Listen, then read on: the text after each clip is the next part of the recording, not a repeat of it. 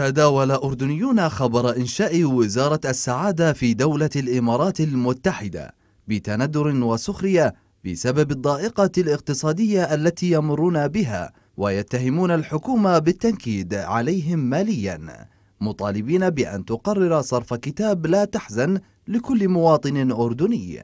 كاميرا الحقيقة الدولية استطلعت آراء المواطنين حول أبرز مطالبهم من هذه الوزارة في حال تشكيلها في الأردن. والتي تركز أغلبها في توفير المستوى المعيشي اللائق للمواطنين.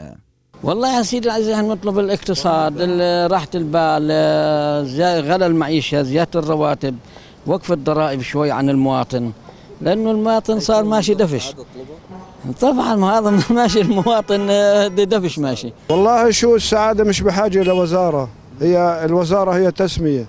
إحنا بهمنا واقعنا واقع حياتنا. مش الوزارات. الوزارة لا تصنع شيء. الوزارة تفيد الوزير وما حوله فقط.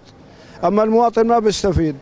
بدليل عنا وزارة نقل وعنا غيره. في يوم شفت وزير نقل ركب باص أو أخذ تاكسي أو عانى معاناة مواطن؟ لا.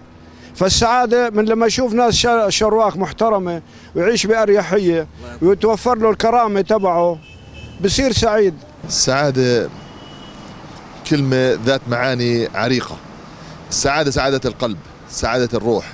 سعادة اللسان سعادة اللقاء مع الآخرين. إحنا يؤسفنا كل الأسف إنه دائما مغفلين مع بعضينا صلبين مع بعضينا. يعني لو وجدت هذه الوزارة شو تطلب أنت منه؟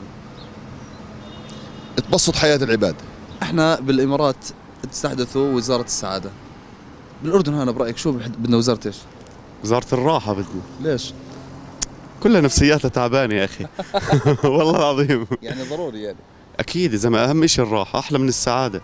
الوزارة في الإمارات قالت أن مهامها موائمة خطط وبرامج الدولة الإماراتية وسياستها لتحقيق سعادة المجتمع. حزم السردي الحقيقة الدولية.